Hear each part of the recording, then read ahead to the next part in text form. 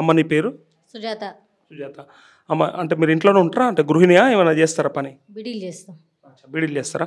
ఎట్లుందమ్మా బీడీలకు ఆదాయం? మంచిగా ఉందా? కష్టం ఉందా? ఎట్లుంది? మంచిగా ఉంది. మాకు అసలు పింఛన్ వస్తుందని కూడా ఎప్పుడు అనుకోలేము కళలో అనుకున్నట్టు వచ్చింది ఇక. అంటే ఇంతకుముందు పింఛన్ లేకపోవా? మాకు పింఛన్ లేదు. ఇక చేసడం బీడీలను చేసిన కాడికే ఇద్దుడు అంతే. పింఛన్ కేసీఆర్ వచ్చిండంటే మాకు పింఛన్ ఎంత మంచిగా అయింది. ఎంత వస్తుందమ్మా పింఛన్? రెండు వేల పదహారు రూపాయలు. ఏమనుకుంటారమ్మా మహిళలంతా బీడీ కార్మికులు? అరే ఇది మంచిగా ఉంది కేసీఆర్ చేయంగా అంటురా లేదంటే ఏ ఆయన ఇంటకెళ్ళి ఇస్తుండా ఇదంతా మనది సొమ్మే కదా అంటురా ఇక అట్లా అన్- అట్లా అని ఏమనుకుంటలేం. మాకు కేసీఆర్ రావడం వల్లనే పింఛన్ వచ్చింది లేకుంటే ఎవరు చేయకూడదు అని అనుకుంటున్నాం. ఇంకా అమ్మా ఇంకేమన్నా లాభం జ- జరిగిందా మీకు అంటే? ఇంకా లాభాలంటే ఇక మాకైతే ఇవి రైతు బంధు వస్తుంది. అన్నిటికీ బాగానే ఉంది కేసీఆర్ రావ- రావడం వలన.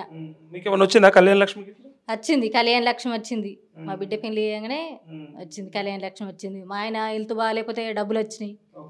ఎట్లుందమ్మా కేసీఆర్ పరిపాలన? మహిళలందరూ మరి కేసీఆర్ కిట్ అంటుండ్రు ఇంకా రకరకాల వస్తున్నాయి కదా. ఈ స్కీమ్లన్నీ మంచిగా ఉన్నాయా లేదు వేరే ప్రభుత్వం వస్తే మంచిగా ఉంటుంది అంటురా ఏమో ఈ ప్రభుత్వం వస్తేనే మంచిగా ఉంది అని అనుకుంటున్నాం మేమైతే. ఇదే రావాలని కోరుకుంటున్నాం.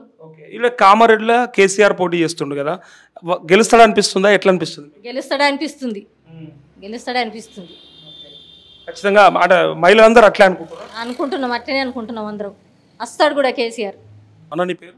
నా పేరు నరసింహులు. ఏం చేస్తారు మీరు? ఈ షాప్ మీద ఆ, సిమెంట్ షాప్ ఉంది. సిమెంట్ షాప్ ఎప్పటి నుంచి చేస్తున్నారు ఈ వ్యాపారం?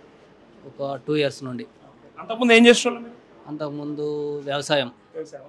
వ్యవసాయం కానీ లేకపోతే వ్యాపారాలు కానీ గత ప్రభుత్వాలలో మంచిగా ఉండేనా? ఇప్పుడు కేసీఆర్ వచ్చినాక బాగుందా? భవిష్యత్తులో ఎట్లా ఉంటుంది అనుకుంటున్నారు కేసీఆర్ రావడం ద్వారానే బాగుంది.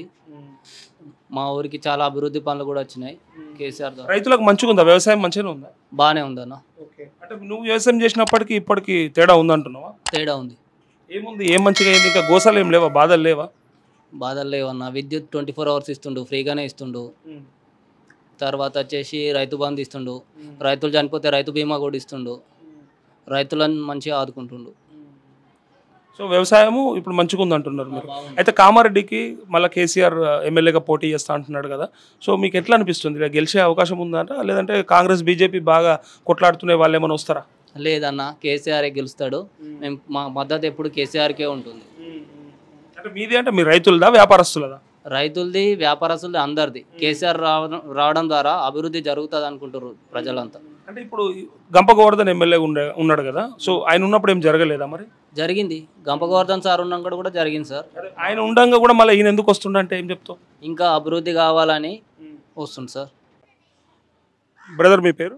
నా పేరు ప్రవీణ్ మాది గరుగుల గ్రామం కామారెడ్డి డిస్టిక్. ఏం చేస్తారు మీరు? మేము చేపలు పడతాము మేము గంగపుత్రం చేపలు పడతాం ఓకే. గంగపుత్రులకి ఈ ప్రభుత్వం ఏమన్నా సహాయ సహకారాలు అందిస్తుందా? లేదంటే ఇంకా ఏమైనా ఇబ్బందులు ఉన్నాయా?